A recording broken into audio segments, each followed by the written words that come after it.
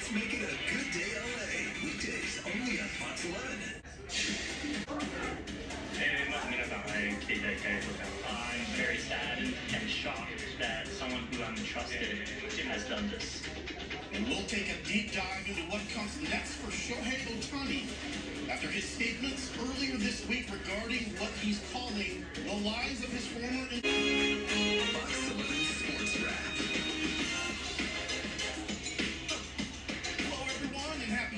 Saturday. Welcome to Fox 11 Sports Wrap. I'm Geraud Moncuré. We'll have the latest on the Shohei Ohtani investigation and, of course, the first Saturday of the Major League Baseball season. But we have to begin with one of the most anticipated days of women's college hoops in recent memory.